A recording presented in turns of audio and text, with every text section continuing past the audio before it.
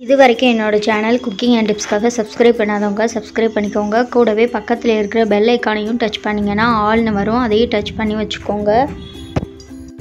இந்த மாதிரி செஞ்சு வச்சிங்கன்னா தான் என்னோடய வீடியோஸ் உங்களுக்கு உடனே நோட்டிஃபிகேஷனாக வந்து சேரும். இன்றைக்கி ரொம்ப ரொம்ப டேஸ்டான கோதுமை அல்வா ரெசிபி தான் பார்க்க போகிறோம் கோதுமை பால் எடுக்காமல் கோதுமை மாவு வச்சு ரொம்ப ரொம்ப டேஸ்ட்டான கோதுமை அல்வா ரொம்ப ஈஸியாகவும் ரெடி பண்ணிடலாம். இந்த கோதுமை அல்வா செய்கிறதுக்கு கொஞ்சமாக தான் நெய் தேவைப்படும். இப்போ எப்படி செய்கிறதுன்னு பார்ப்போம். பவுல் எடுத்து அதில் கால் கப் அளவுக்கு கோதுமை மாவு எடுத்திருக்கேன். சாதாரண பாக்கெட்டில் வாங்குகிற கோதுமை மாவு.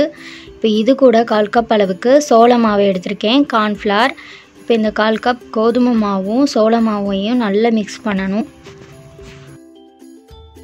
கோதுமை மாவு கூட சோள மாவு சேர்த்து மிக்ஸ் பண்ணுறதுனால இந்த அல்வா வந்து நல்ல கண்ணாடி மாதிரி சாப்பிட்றதுக்கு ரொம்ப டேஸ்ட்டாக இருக்கும்.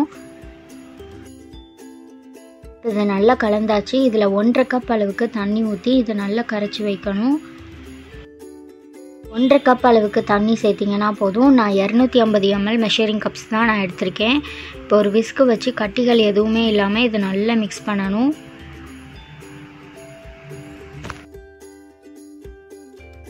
வேறு ஒரு பவுலில் ஒரு சல்லடை வச்சு இதை நல்லா வடிகட்டி எடுக்கணும். இந்த மாதிரி வடிகட்டும் போது உங்களுக்கு அல்வா வந்து கட்டிகள் எதுவுமே இல்லாமல் சாப்பிட்றதுக்கு நல்லா ஸ்மூத்தாக இருக்கும். இப்போ இதை இன்னொரு தடவையும் வடிகட்டி எடுக்கணும். இந்த மாதிரி பால் மாதிரி இருக்கணும். ஸ்டவ் ஆன் பண்ணிவிட்டு ஒரு ஃப்ரை பேன் வச்சுருக்கேன். இப்போ இதில் ரெடி பண்ணி வச்சுருந்த கோதுமை பாலை சேர்த்துட்டு நல்லா மிக்ஸ் பண்ணி விட்டுட்டே இருக்கணும். இதை மீடியம் ஃப்ளேமில் வச்சு இதை நல்லா கலந்து விட்டுட்டே இருக்கணும். அப்போ தான் அங்கங்கே கட்டி விழாமல் இருக்கும். அளவுக்கு இது நல்லா கெட்டியானதுக்கப்புறமா இதில் இனிப்புக்காக முக்கால் கப் அளவுக்கு சர்க்கரை சேர்த்துருக்கேன். கால் கப் சர்க்கரையை கேராமல் சிரப்புக்காக எடுத்து வச்சுருக்கேன். அதனால முக்கால் கப் சர்க்கரையே இதுக்கு போதும். சர்க்கரை சேர்த்த உடனே நல்ல இலக்கமாக உங்களுக்கு கிடைக்கும். இந்த டைமில் மீடியம் ஃப்ளேமில் வச்சு இதை நல்லா கலந்து விட்டுட்டே இருக்கணும்.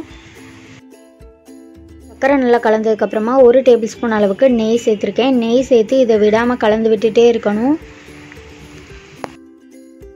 ஒரேடியாக நெய் சேர்த்துடக்கூடாது. கொஞ்சம் கொஞ்சமாக தான் நெய் சேர்க்கணும். அப்போ தான் உங்களுக்கு நல்லா கலந்து வரும்.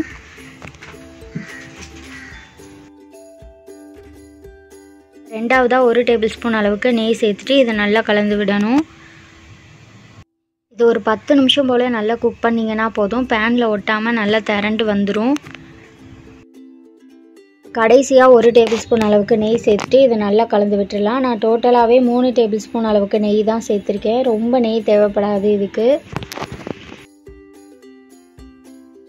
அல்வாவோட கரெக்டான கலர் கிடைக்கிறதுக்காக கால் கப் அளவுக்கு சர்க்கரையை ஒரு பேனில் போட்டு நல்ல ஹை ஃப்ளேமில் இதை நல்லா கலந்து விட்டுட்டே இருந்தீங்கன்னா கேராமல் சிரப் ரெடி ஆயிரும்.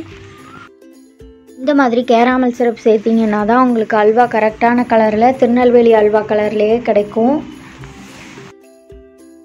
ஒரு அஞ்சு நிமிஷத்துலேயே இந்த அளவுக்கு நல்ல கேராமல் சிறப்பாக கிடச்சிருக்கு. இது கருகிடக்கூடாது இப்போ ஸ்டவ் ஆஃப் பண்ணிவிட்டு அல்வாவில் சேர்த்துடலாம். அல்வா பேனில் எதுவுமே ஒட்டாமல் நல்லா திரண்டு வந்திருக்கு. இப்போ ரெடி பண்ணி வச்சுருந்த கேராமல் சிறப்பை இதில் சேர்த்துடலாம். கேராமல் சிறப்பு சேர்த்து இந்த அல்வாவோட நல்லா மிக்ஸ் பண்ணணும். அப்போ தான் உங்களுக்கு நல்ல கண்ணாடி மாதிரி திருநெல்வேலி அல்வா கலர்லேயே கிடைக்கும். இது நல்லா கலந்ததுக்கப்புறமா ஒரு ரெண்டு நிமிஷத்துக்கு அப்புறமா ஸ்டவ் ஆஃப் பண்ணிடலாம். இந்தளவுக்கு பேனில் நல்லா ஒட்டாமல் நல்லா திரண்டு வந்திருக்கு. இப்போ ஸ்டவ் ஆஃப் பண்ணிடலாம். கடைசியாக ஒரு ஏழு எட்டு முந்திரி பருப்பு சேர்த்துருக்கேன். முந்திரி பருப்பை நீங்கள் நெய்யில் ரோஸ்ட் பண்ணி கூட சேர்த்துக்கலாம். நான் வந்து அப்படியே தான் சேர்த்துருக்கேன். இது நல்லா கலந்ததுக்கப்புறமா ஒரு அரை மணி நேரம் அப்படியே வச்சிடணும். ஒரு அரை மணி நேரத்துக்கு அப்புறமா எடுத்து சர்வ் பண்ணிங்கன்னா தான் நல்ல டேஸ்ட்டாக இருக்கும். ஒரு அரை மணி நேரம் ஆயிருக்கு. நல்லா ஆறிருக்கு பேனில் ஒட்டாமல் சூப்பரான பதத்தில் நமக்கு கிடச்சிருக்கு. இப்போ ஒரு பிளேட்டில் சர்வ் பண்ணிடலாம். ஒரு பிளேட்டில் எடுத்து வச்சுருக்கேன். ரொம்ப ரொம்ப டேஸ்ட்டான திருநெல்வேலி ஸ்டைல் அல்வா. கண்டிப்பாக நீங்களும் இந்த அல்வா ரெசிபியை ட்ரை பண்ணி பாருங்கள் இந்த ரெசிபி உங்களுக்கு பிடிச்சிருந்ததுன்னா லைக் பண்ணுங்கள் மறக்காமல் குக்கிங் அண்ட் டிப்ஸ்க்காக சப்ஸ்கிரைப் பண்ணிக்கோங்க. கூடவே பக்கத்தில் இருக்கிற பெல் ஐக்கானையும் டச் பண்ணிக்கோங்க. அப்போ தான் நான் போடுற வீடியோஸ் உடனடியாக உங்களுக்கு நோட்டிஃபிகேஷனாக வந்து சேரும். இதை பீஸ் போட்டு கட் பண்ணியும் சாப்பிடலாம். இல்லை அப்படியே பிளேட்டில் வச்சும் சாப்பிடலாம். ஸ்பூனில் எடுத்திங்கன்னா இந்த அளவுக்கு ஸ்பூனில் ஒட்டாமல் கரெக்டாக வரணும். நான் சொன்ன இதே அளவில் நீங்களும் அல்வா ட்ரை பண்ணி பாருங்கள் ஸ்பூனில் ஒட்டாமல் ரொம்ப சூப்பராக இருக்கும். வாயில் போட்ட உடனே மெல்ட் ஆகக்கூடிய சூப்பரான கோதுமை அல்வா கண்டிப்பாக நீங்களும் ட்ரை பண்ணி பார்த்துட்டு உங்களோட ஃபீட்பேக்கை என்னோடய கமெண்ட் பாக்ஸில் கண்டிப்பாக சொல்லுங்கள் எல்லாருக்குமே ரொம்ப ரொம்ப பிடிச்ச கோதுமை அல்வா. நம்மளே வீட்டில் ஈஸியாக ரெடி பண்ணிடலாம். கண்டிப்பாக நீங்களும் ட்ரை பண்ணி பாருங்கள் ரொம்ப ரொம்ப டேஸ்ட்டாக இருக்கும். வாயில் போட்ட உடனே கரைஞ்சி போயிடும் இந்த அல்வா ரெசிபி உங்களுக்கு பிடிச்சிருந்ததுன்னா லைக் பண்ணுங்கள் ஷேர் பண்ணுங்கள் மறக்காமல் சப்ஸ்கிரைப் பண்ணாதவங்க சப்ஸ்கிரைப் பண்ணிக்கோங்க. கூடவே பக்கத்தில் இருக்கிற பெல் ஐக்கானையும் டச் பண்ணிக்கோங்க.